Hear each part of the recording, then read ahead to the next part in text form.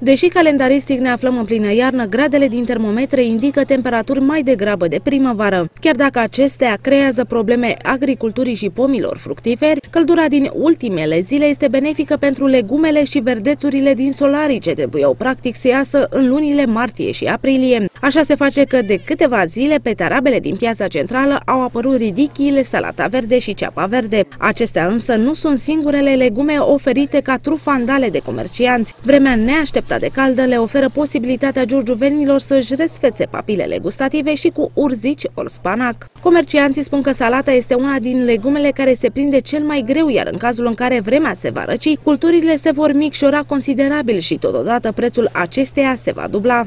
Salata aceasta este originală românească, Zimnicea Năsturelu, din comuna Năsturelu, Teleorman, care este produsă direct de proprietari, de noi.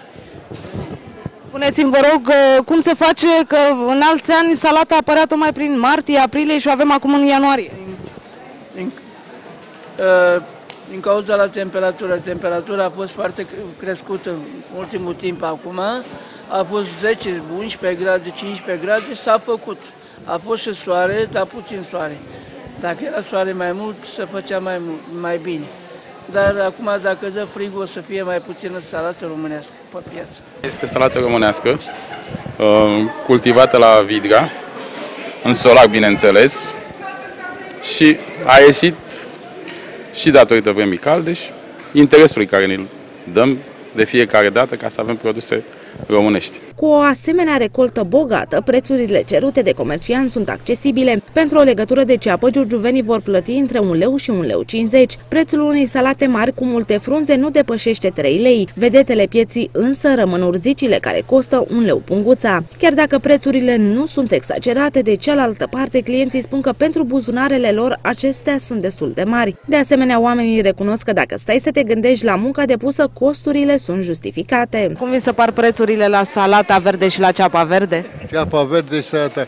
Păi să cum la aia care nu are bani e foarte scumpă, aia care are bani e foarte ieftin, înțelegi? Și dacă te duci la țară să vezi cum să pune și cum să scoate, cum să spală, e foarte ieftină. Dar nu vi se pare ciudat că a apărut acum în ianuarie și nu în februarie, în martie, aprilie? Dacă e timpul ăsta cald, înțelegi, și e pusă de mult, înțelegi? Păi eu sunt de la țară, cum să nu știu asta? Păi dacă e timp... Și n-ați văzut urzicii, trebuia să apară în martie, a apărut urzicile acum, înțelegi? mi se pare mult la timpul ăsta, dar eu știu. Dar nu vi se pare ciudat că a apărut acum în ianuarie și nu în martie, aprilie încolo? Păi dacă a fost timpul ăsta prea bun, de aia și noi avem la țară și tot așa. Cam scump pentru noi pensionari. Meteorologii spun că temperaturi ridicate se vor înregistra până cel târziu la începutul lunii viitoare. În cazul în care înghețul ar veni brusc, producătorii ar avea parte de cele mai mari necazuri pentru că toate culturile, atât din câmp cât și din solarii, vor fi afectate.